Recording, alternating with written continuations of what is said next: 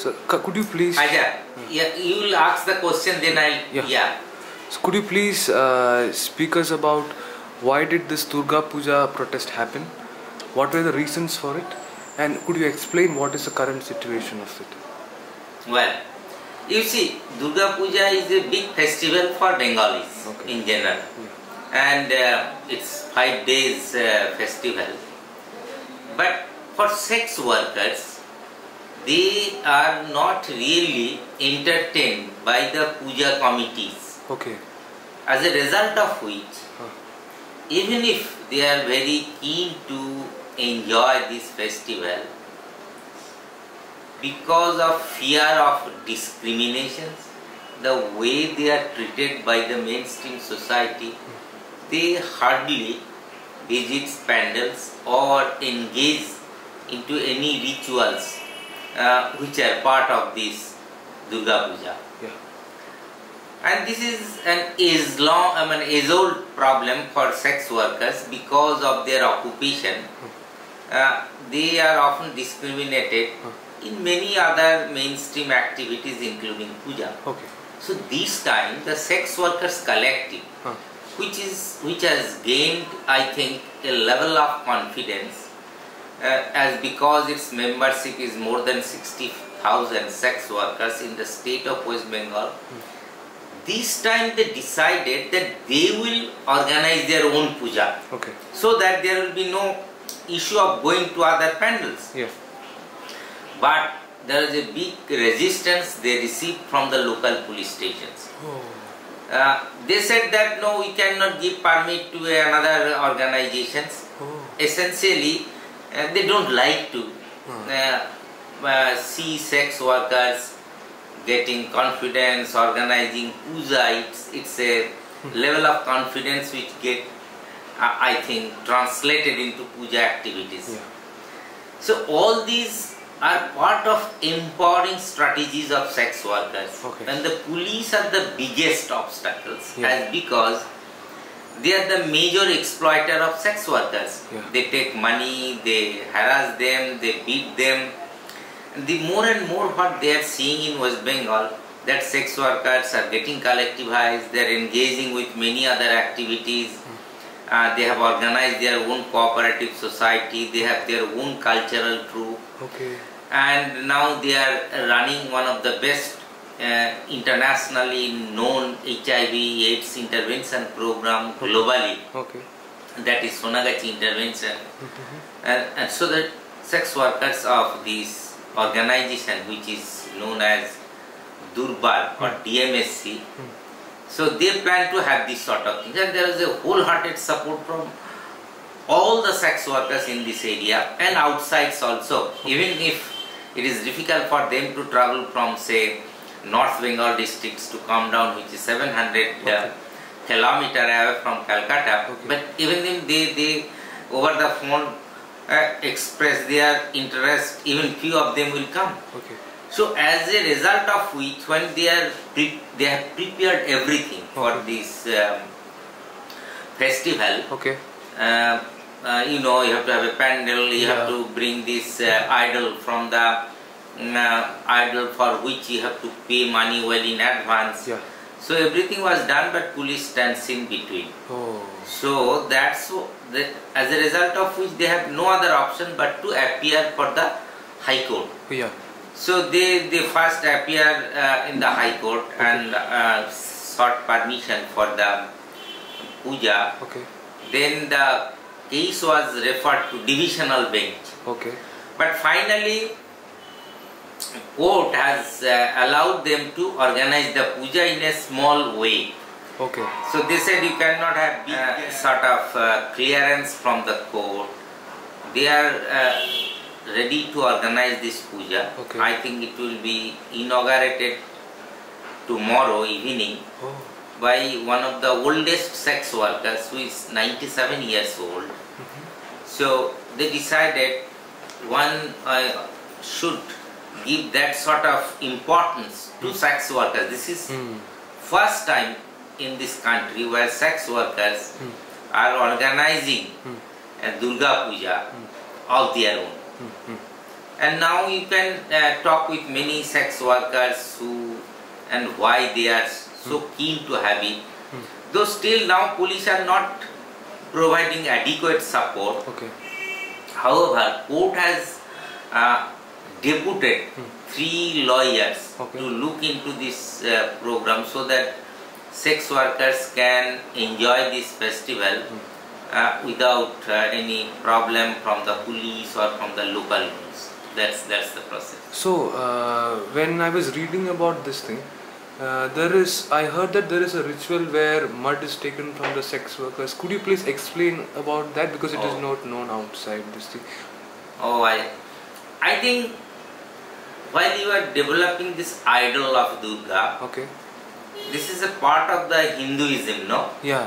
So that you cannot complete an idol without taking the mud from the sex worker side. Okay. That's a Yeah. uh, issue which means that that's what is written in this um, old um, religious book. Okay. So as a result of which, uh, those who prepare those idols, they come some evening, just collect. Mhm. It's, it's a ritual basically, so as to complete the uh, or, or giving life to the idol. So it, you cannot actually instill life to the idol without taking mud from the uh, sites of sex workers' house, like. So in one sense, even the uh, even the old society, I think, uh, thousand years or two thousand years back, when the puja came into existence, that time the religious leaders, I think, to pay respect to the sex workers, uh, decided to uh, have this sort of ritual as part of the idol development. Okay. And I think um, keeping that in mind, uh, every year this idol maker used to come down to red light districts. But since last two years, sex workers were uh, preventing them, sunning them from taking the marks. Uh, I think it is out of grudge that in one hand you felt this is important for you to develop idol. On, on the other, other hand, when you appear in the puja pandal, then the uh, those who those who organize this puja, they either look down upon on Yeah. or really do not entertain. In one way or others, uh, they are shunned from taking part in any puja uh, related activities. Okay. So that's that's the historical uh, Yeah. link with it. Yeah. So uh, when you speak about discrimination and about police, uh, we are uh, working with Dalit organization which deal with caste. So uh, the the police also deals the same way with them.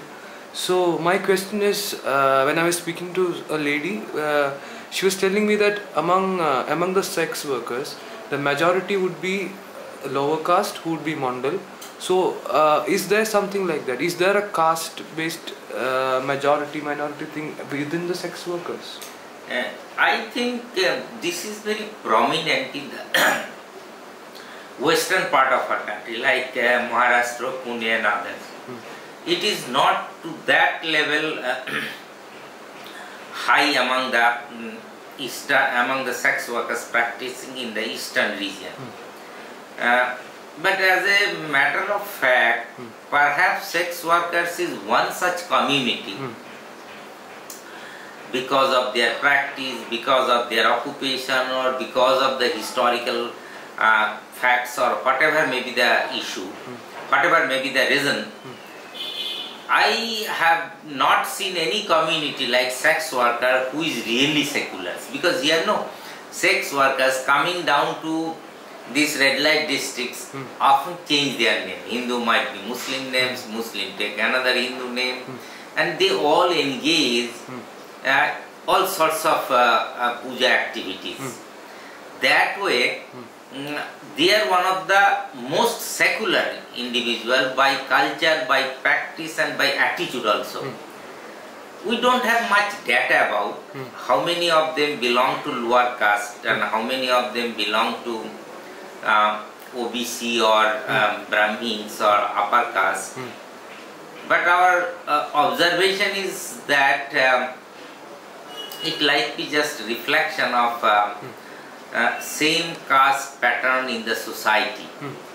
Uh, uh, we didn't have any uh, substantive data to say that uh, Dalits are more, but certainly the leads means lower caste peoples are there in the sex work Okay. and they are also a significant portion might be Hmm. but uh, we cannot say how much how big and uh, whether they are the dominant. So you haven't done any such study. now we have lots of studies but we never actually Hmm. tried to mm, uh, focus on caste Yeah. Uh, so when you, sp- uh, I saw that you were also.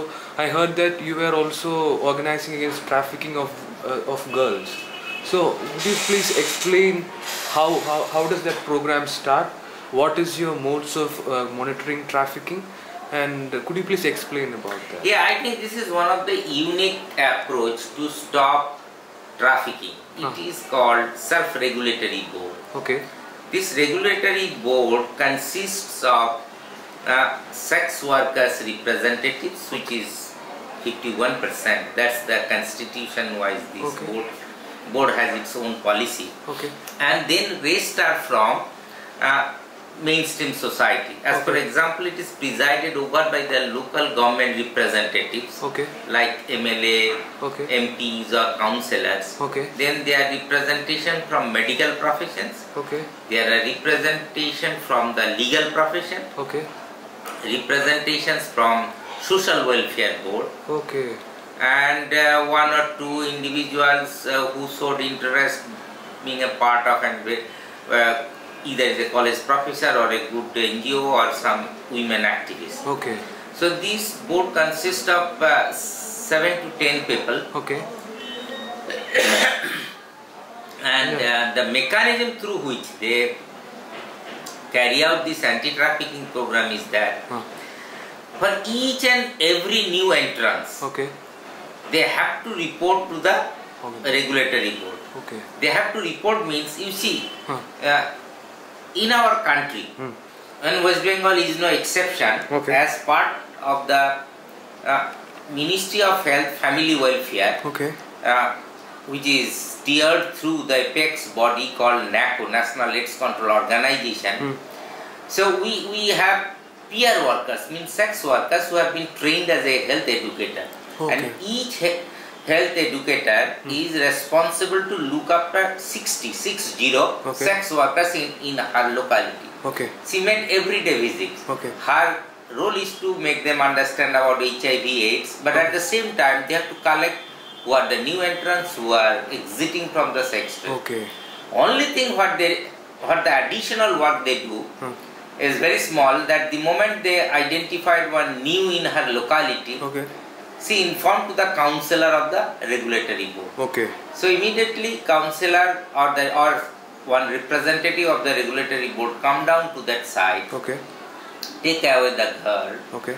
and then she is counseled. They, uh, she will be uh, the moment she is brought to the uh, uh, uh, regulatory board, her age is determined through X-ray examination. Okay. Each and every one uh, Yeah. age would be determined. It's Okay. not just you are seeing from your IO. It is Oh, okay.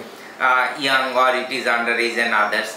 Followed by she is counseled. Yeah. If necessary, she is put for three days in a short stay home Huh. maximum. Okay. During that time, she can feel more comfortable, can speak her mind whether she really wants or Okay. she wants to go back home or she wants to engage in any other occupation. Okay.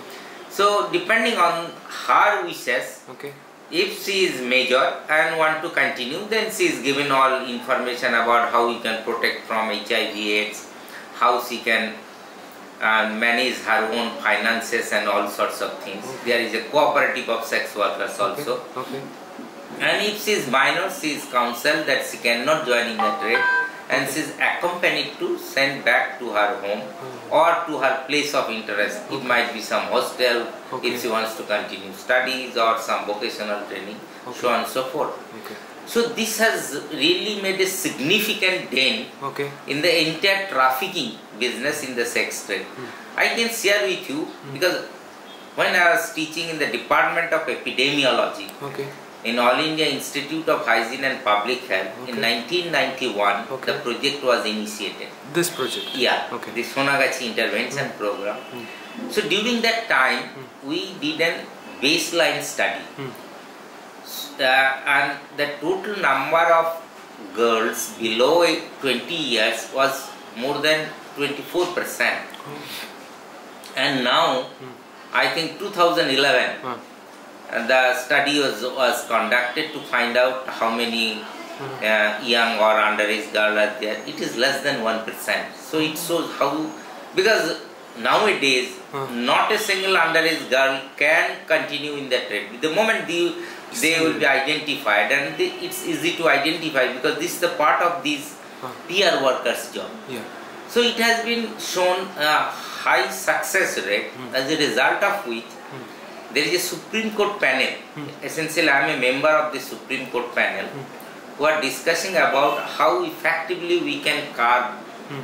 trafficking in the sex trade and this very model of self-regulatory board is now being discussed and there will be some hopefully there will be some proposal which will be placed to the uh, chief justice for incorporation of this model So uh, when you say trafficking has been stopped, so uh, there are people who oppose sex trade as such, like uh, uh, sexual work as such. So when you say you have stopping uh, tra- trafficking, what are the other ways uh, a person gets into sex uh, sex work?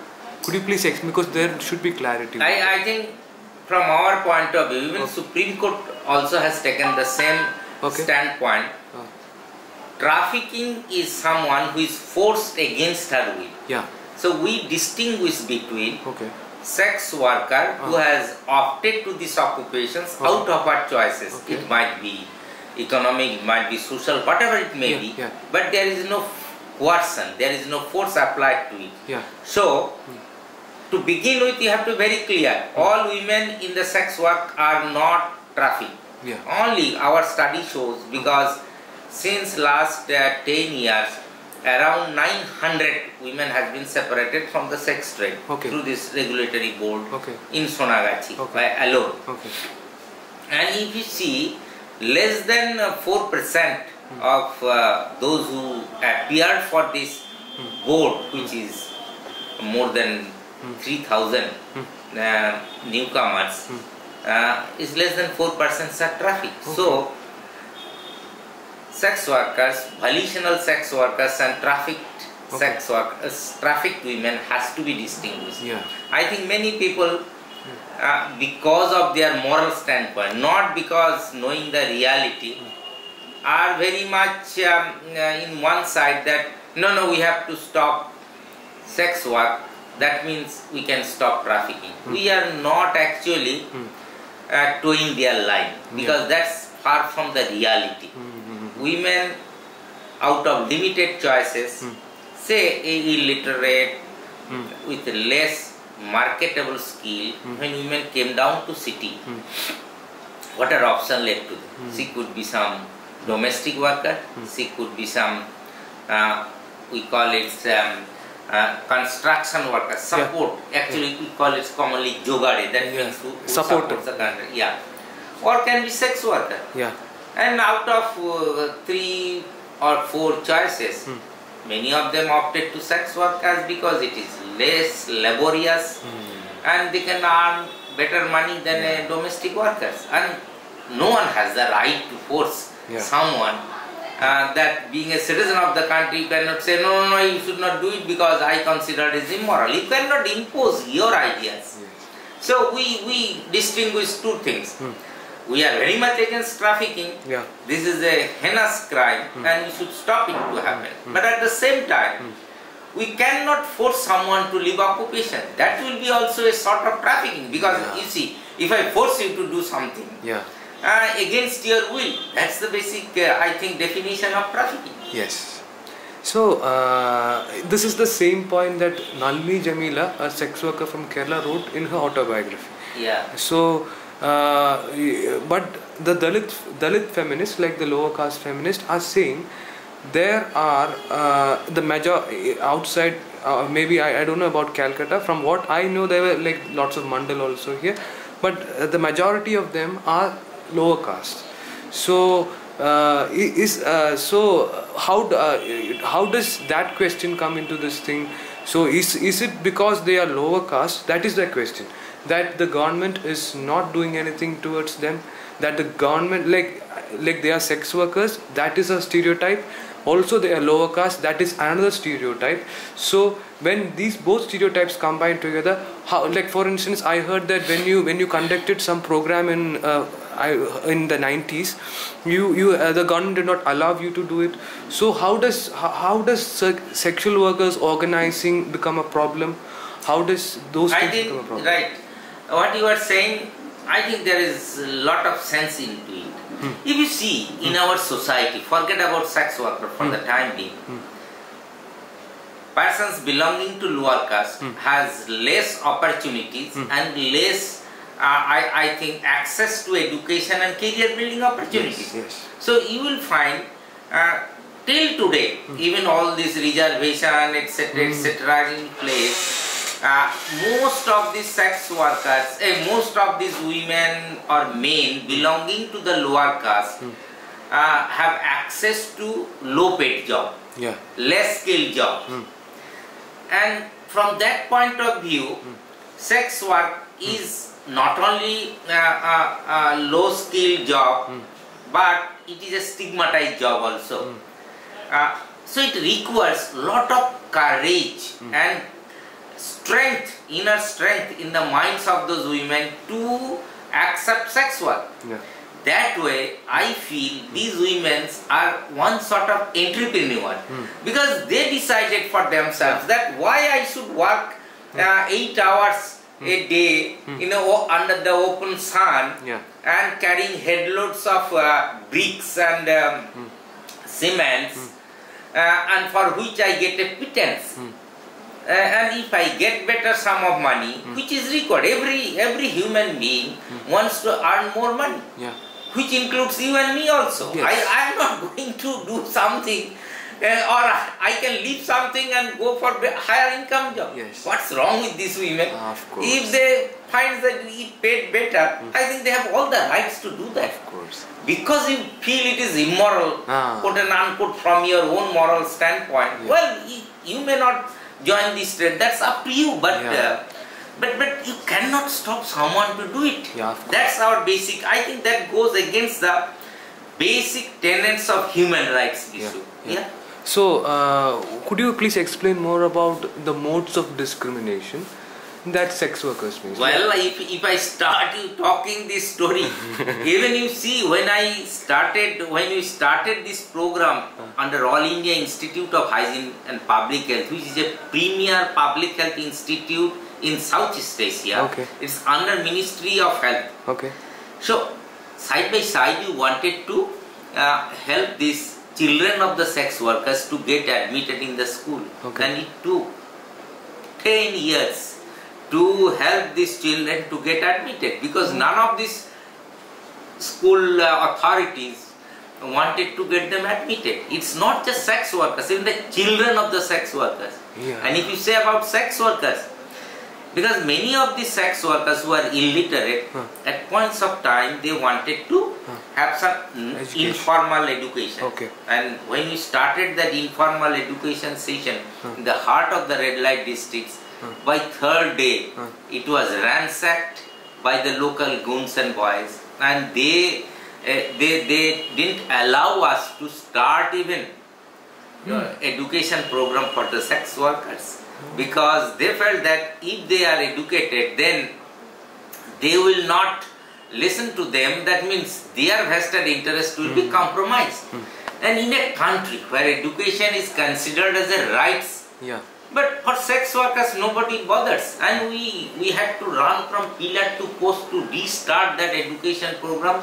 And at that time it was the CPM government this communist party was in power. It took 6 months to reach out to Biman Bose who is now the secretary. Oh, yeah, yeah, yeah. and after long persuasion when he visited these red light districts then the moment he was surrounded by the sex workers who wanted to study. So that actually uh, influenced him very much, and finally he gave this uh, sort of sort of endorsement that it should continue. So so, but but if you look at these. Tomorrow, if you run a non-formal school for other communities, you will be respected and other things. But why you do it sex workers? Yeah. You just think of Ah. how and, and it's for uh, I mean, it was at that point unbelievable. Yeah. Second, I have given example Ah. when the sex workers wanted to Ah. have their own cooperative society, Okay. like microcredit and others, no, Okay. because they were some from attending any uh, insurance company or banks. Okay. They cannot open banks as because they could not show their identity card. That's one thing. Another way, Okay. the moment they will enter and will say, I am from this address, Oh. no, all these people will start uh, laughing at her and the way they will uh, treat her, Okay. that will make her enough not to come second time. Mhm. And they were so, they were uh, very much dependent on Hmm. uh, money lenders who are this big, uh, great, uh, I, I say the money suckers, I should say. Mhm. And if, if I, uh, I just once I calculated the interest rate was 300% minimum per annum when they take loan from this money lender. So when you try to have this sort of cooperative society, you see, the first government official said no, we cannot allow sex workers to have their cooperative society because they don't have the good moral character. And it took one year to they said no, we cannot do this and going from two and four. Uh, this way, that way. Finally, we had to convince the minister, who essentially, ultimately took um, uh, took steps to change that clause. There are some clause Okay. Uh, to get this uh, cooperative society registered. Uh, There are hundreds such Hmm. incidents. Uh, Yeah. Some will not even believe how we, even when the cooperative society started, all these money lenders Huh. attack them, throw bombs. Oh. So we had to close down that uh, cooperative society for a couple of uh, months. Oh. After which, again, with with the help of a higher policy level people, we could start that. In '97, Huh. this sex workers collective first organized their national conference. Okay. That time, all various uh, so-called um, social activists, women's groups, and others. There is all hue and cry went down to uh, this that time the uh, president and the vice president of India Huh. Uh, to to stop it happen, Okay. and they didn't get police uh, sort of support and the clearance for the police station. No. Okay.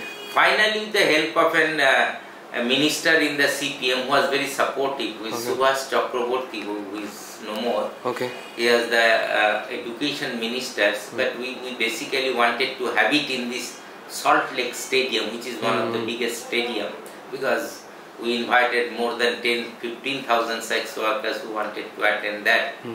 Around the world. No, around country only. It was a national conference. Okay.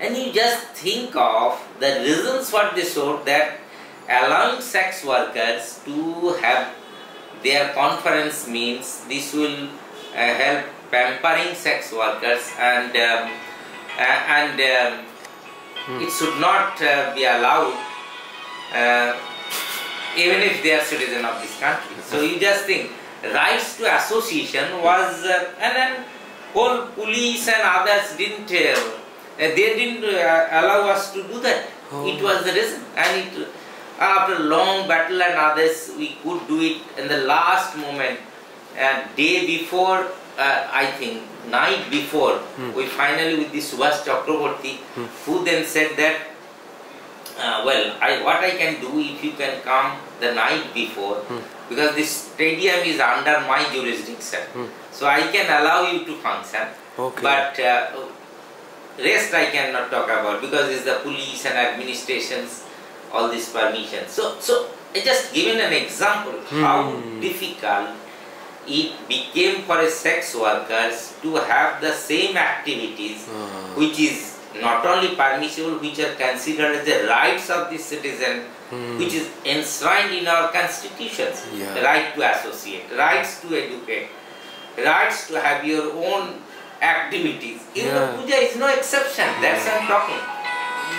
This organization is become large. The, you have organized sex workers no, uh, through education, through providing them savings, through, uh, through all those organizations. Now you are contesting a, a festival, also a popular festival. Yeah. So um, uh, also when you when it comes to uh, a mode of discrimination, one of the questions is. So there are these pimps in between sex workers. So was there any such problems like with pimps taking all the money, sex workers not getting any money? Listen, Huh. as it is a, uh, unregulated uh, and it's not part of unorganized labor sector, not considered, but they are part of unorganized labor sector. In the recent past, the unorganized labor movement, which are uh, headed by like uh, Aruna Roy and Nikhil Okay. and others, they, they invited sex workers collective to be part of it, and we are uh, DMSC is a part of uh, uh, unorganized labor workers movement in the country. They are part of the national Okay. uh, new trade union initiative. Okay. But but what I am going to say mm, that that um, your question was About pimps. pimps. Yeah. So what has happened? No, the major I think uh, uh, challenges in this work is police and the local goons. Okay. And to begin with, there are many uh, madams and middlemen. Middlemen are those who essentially make contract on behalf of the sex workers, Okay. right? So they meet with the clients and make a deal, and here everything was standardized. Like 25% goes to the uh, Okay. which is little higher sides. But over the period, what has happened when DMSC enter into this arena means they get collectivized and others. I can share with you this 92 data, this Mhm. baseline data. That time, self-employed sex workers was less than 20%. Oh. Mostly was under madam Okay. uh, or they call it adhiya system that is 50-50 sort of whatever she earns goes 50% to the madam Okay. i can tell you the 2011 data which shows 60% of them are now self-employed that means Yeah. she doesn't have to depend she actually uh, hire a room and Yeah. essentially do whatever she likes to do. But for to begin with, foreign mm, women coming from a, a rural background, having no money and others, Hmm. still it is a challenge that maybe couple of months to years she has to work under madam. Yeah. So we are actually trying to force that system Hmm.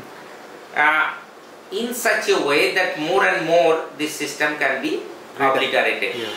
It has been extremely successful in other red light districts like Bowbajar. There are five big red light districts Hmm. Where 95% of them are self-employed, Okay. like Kalighat and Chetla. Okay. Uh, here it is increasing. Hmm. Maybe uh, now I said 2011 it Hmm. was 60 plus percent. It, it's going to be Yeah. more and more in the over the period of time. But that requires the collective strength of the sex workers. You have to allow the sex workers Hmm. To get collectivized and exert their rights as a citizen of the country. Unfortunately, Hmm. the biggest challenge of this battle is the police and the existing laws, which is called ITPA, Oh. which empowers police Hmm. and disempowers sex workers, and they use it. ITPA. Yeah, immoral traffic prevention act. Okay. Okay. What are the loopholes in the law? This act says that any any work surrounding sex work are illegal, like soliciting is illegal, Oh. like living on the earnings of the sex worker is also illegal Oh. if it is 18 years plus. Okay. So they, they- ten of the boys went to the court, which is uh, PIL is in the high court. That Hmm. that means you are not allowing sex worker kids to go beyond school because at the age of 18 months and will ju- just complete the 12th standard. Yes. Yes. Then then I have to pay money for my son to go to colleges. Yes. And the law itself prevent I think this is extremely discriminatory Yeah. for them to go to the uh, higher education and career building. So Hmm. that's why they want to. Uh, there are similar sort of things. If you have a brothel like within 200 years of a Oh. temple or any school, but the Oh. problem is that all red light districts was at points of time time in the outskirt of the city. But as Okay. the city grow, Ah. so everything come close to that. Yeah. As a result of which you start one school close by. Okay. But that became, that make them illegal. Yeah. Even, even though to begin with they, They were part of- that clause Hmm. of the act was not illegal. Yes. So and there are also uh, power to to to police Hmm. to make um, raid and harassment and all sorts of things. Hmm. It's a pretty old British era law, Hmm. though it has been uh, modified twice, but not much. Just um, uh, I should say, basic tenets of the act Hmm. still goes against the interest of the sex workers as well as for their children. Is there a legal battle on this? Uh, is there some kind of. Yeah, I think Durbar has uh, already put a well, battle in the court, Okay. which is uh, it's a PIL and some other Yeah. court cases. We are like to place it, but you see, to go to court and it requires Ah. money, people, and you see today court things is quite costly. Yeah. Even for this Durga Puja to get to the court, somehow would get the help of some Lawyer. good lawyer who didn't actually charge money to us, but Okay. as such it's, it's difficult. Difficult, yeah. So, thank you. Thanks.